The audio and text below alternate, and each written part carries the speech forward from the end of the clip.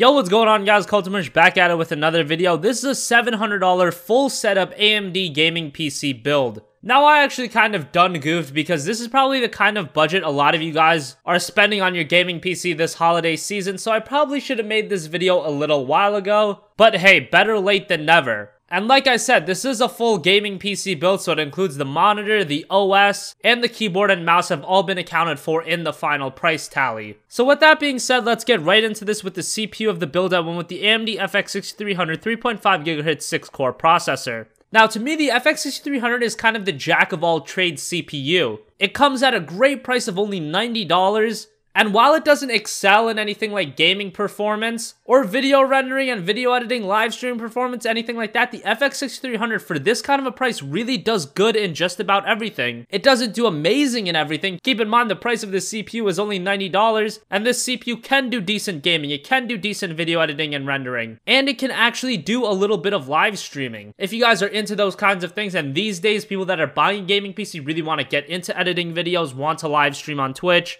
so I think for the price right now, the 6300 is a CPU that the price has been consistently going down over the last few years. It's a pretty ridiculous deal and it really works well in these budget AMD builds. And really, for $90, and if you do look for sales, you can get it even less than $90, it is a very, very good deal. Moving on to the motherboard, I with the Asus M5A97LE-R2O. This motherboard is about $70. There's also a mail-in rebate you can get that would knock it down to $60 which that's the kind of price I wanted to pay for a motherboard in this build. It's a good motherboard, but you definitely don't want to be overspending on a motherboard in a build like this. Because I think in a budget end build, the motherboard is something you can save a couple bucks on and put that towards your graphics card. So this kind of motherboard is still going to get the job done. It has four memory slots up to DDR3 2133 memory and up to 32 gigabytes of RAM. It's got RAID support and 6 SATA 60-bit per second ports, so there's actually a lot of features in this motherboard, and at this kind of a price range, it's gonna fit really well in the build while it's not gonna give you all the features in the world. For $60, you're gonna be saving a lot of money, and you can put that towards the main part of your gaming PC, which is the GPU, which we'll cover a bit later on. For memory, you're gonna pick up G.Skill Ripjaws X Series 8GB, 24GB sticks at DDR3 1600MHz. $42 for 8GB of RAM is an absolute steal.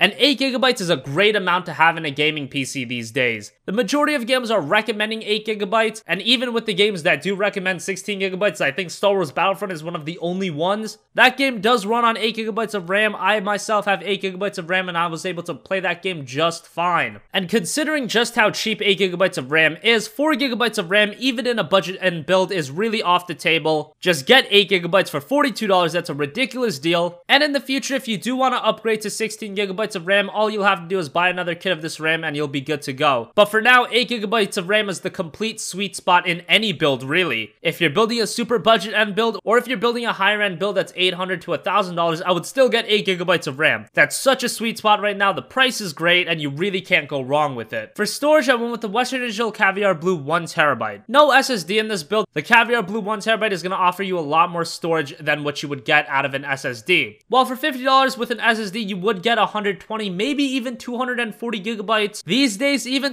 240 gigabytes is just not enough for gaming. With games like Titanfall being 60 gigabytes, Call of Duty Black Ops 3 being 50 gigabytes, you really do need more than 240 gigabytes. For a lot of people, one terabyte might not even be enough if you're recording a lot of videos, keeping archives of your Twitch streams, or downloading a lot of movies. If you've never been a PC gamer, one terabyte might sound like a lot, but once you start mass buying games off Steam sales, downloading movies and all this kind of stuff, it goes away really fast. But I think most people can make do with a terabyte. If not, if you need anything more than a terabyte, you can pick up one of the Seagate drives. You could get a 2 or 3 terabyte drive for 70 to $90 respectively. And if you do think you need more than a terabyte, you could go for that. Otherwise, a terabyte of Caviar Blue for $50 is a pretty good deal. Now for the video card, I went with the XFX Radeon R9 280 3GB video card. Now this GPU has been going in and out of stock, so if you want to get an R9 280, I would recommend picking it up ASAP because I do not know when it's going to go out of stock again. Right now, Amazon has this video card for $190, and best of all, there's also a $30 mail-in rebate, so that knocks the price of this GPU down to $160. For an R9 280 for $160, that's a freaking great deal. It's a 3GB video card, which might be one of the best drawing factors of this GPU. because at this price range, the competing GPUs is like the GTX 960 or the R9 380. Both of those GPUs are 2GB video cards, and the R9 280 is going to give you that extra gigabyte, which for a lot of games is going to come in really handy, like Grand Theft Auto 5 and upcoming games as well. And I know GTA 5 is one of the most popular games right now, so the 3GB is really going to come in handy. And for $190 and 160 after the mail-in rebate, the R9 280 is an absolute stellar deal. And like I said, if you want it, try to pick it up ASAP. And as far as gaming performance goes, you'll be doing really well at 1080p. You might not be maxing out every game and getting 60 frames per second, but games like Star Wars Battlefront, Fallout 4, Metro Last Light, all the high-end games, the R9 280 is going to run them really well at 1080p. And 1080p is the resolution you want to be playing games with this GPU. I will not be getting an R9 280 to look to do 1440p or god forbid 4K gaming. That's just not something you're going to be doing with a graphics card like this. But for 1080p gaming, you're going to get really good performance. And if you're used to console gaming being the PS4 the Xbox One, the R9 280 is going to run laps around those two. Moving on to the power supply, we went with the Seasonic 520 watt 80 plus bronze certified power supply.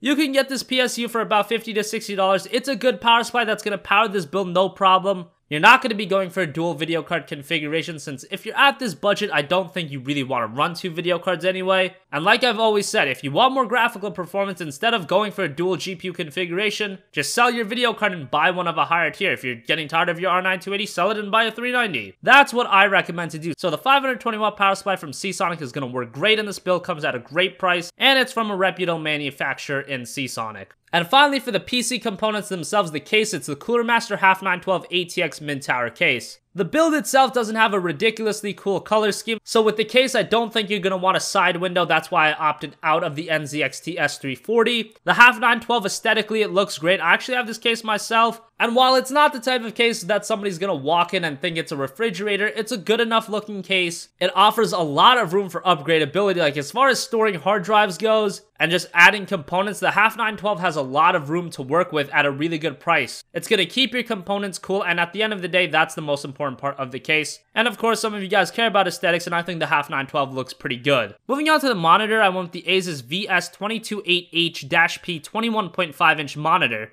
So you guys might know that I myself have a 1440p monitor, but I've actually decided to go back and start gaming at 1080p again, just because at this resolution games are easier to run, and this is actually the monitor I've been gaming at, and 1080p looks freaking awesome on this monitor. While it's not 23 inches, you can get one of those for about 15 to $20 more. I think at 21.5 inches, 1080p looks fantastic. And as far as size goes, I've gamed on a 1080p 23 inch monitor and a 21.5 inch monitor. I don't really notice a big difference, but hey, if you really want to get that extra inch and a half, you can pay that extra 20 bucks. Like I said, this is a 1920 by 1080 monitor. It's got a 5 millisecond response time, which isn't the best, but for a monitor at this price range, that's perfectly fine. It's got an HDMI port, a D sub port, and a DVI-D port. So all in all, Asus makes some great 1080p monitors. This is just one of them. If you want a 23 inch monitor, go for it. If you want to get a 144 hertz monitor and spend a little bit of extra money if you're, say, big into CSGO, go ahead and pick that up. But this one, I've been playing games like Just Cause 3 on it, Metal Gear Solid 5, Fallout 4, they've all looked fantastic. And with the R9 280 at this kind of a resolution on this monitor, the games are going to look really, really good.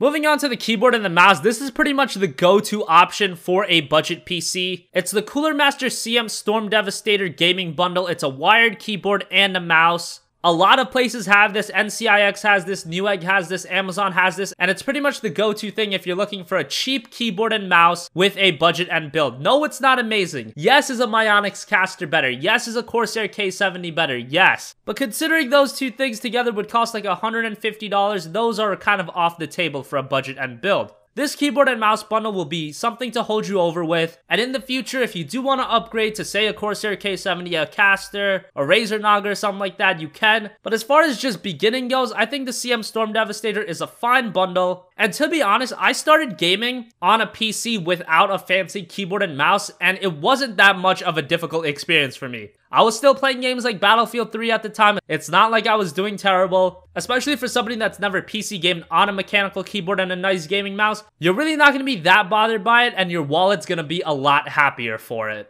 Finally, for the OS, I would recommend you to go on G2A and get like a Windows 8 key, or you can go on Reddit r slash Microsoft Software Swap. I myself actually picked up a Windows 10 key off there. Worked absolutely fine. I'm running that Windows 10 right now. And it's working absolutely magnificently. Otherwise, if you do want to spend the $100 on Amazon and get Windows 10 or Windows 8, you can do that as well. But those of you on a budget are probably going to find more crafty ways to get your OS at a cheaper price. I'll leave all the links in the description box down below as always, and that's going to wrap up this video. As always, thank you for watching. If you have any requests for future videos, leave them in the comment section down below. I know a lot of you guys want more of these full setup PCs, they just take a little bit more time to produce, but I will try to do them a bit more often. I'm trying to aim to do at least one or two of these full setup PCs a month, and you guys seem to be enjoying them, so thank you for watching. Have a great day, and I'll catch you guys in the next one. Peace out.